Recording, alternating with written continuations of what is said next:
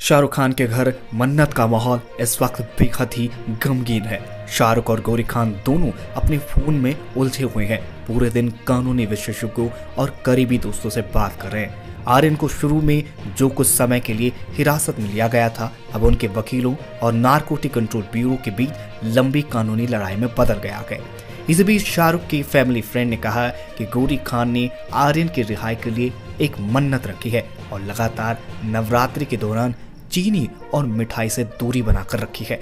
Mumbai cruise रुक्स मामले में शाहरुख खान के बेटे आर्यन खान की जमानत याचिका पर गुरुवार को सुनवाई के बाद मुंबई की एक विशेष अदालत ने अपने आदेश को सुरक्षित रख लिया, जिसका नतीजा ये हुआ कि आर्यन को कम से कम 20 अक्टूबर तक अब जेल में ही रहना होगा।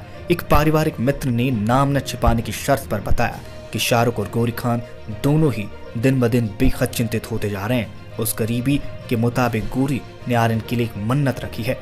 नवरात्रि के दौरान लगातार प्रार्थना कर रही है। त्योहार शुरू होने के बाद से वह चीनी और किसी भी मिठाई का सेवन नहीं कर रही है। शाहरुख खान की मैनेजर पूजा ददलानी ने पिछली सुनवाई से पहले अपनी इंस्टाग्राम स्टोरी पर देवी की तस्वीर भी साझा की थी। उन्होंने लिखा थैंक यू माता रानी। उस वक्त शाहरुख खान और गोनी दोनों ने सोचा कि आर्यन अगले दिन जमानत पर बाहर आ जाएँगे, लेकिन ऐसा नहीं हुआ। शाहरुख ने अपने सेलिब्रिटी दोस्तों को भी मन्नत में बार बार आने से मना कर दिया। तीन बार देखा गया एकमात्र चेहरा उनके पड़ोसी सलमान खान है। जो शाहरुख के लिए पूरा समर्थन दे रहे हैं और उस मामले को बारीकी से देख रहे हैं। बहरहाल आपको क्या लगता है कि क्या आर्यन खान की माँ गौरी खान की दुआ यहाँ पर बेटे के लिए काम आएगी या फिर नहीं?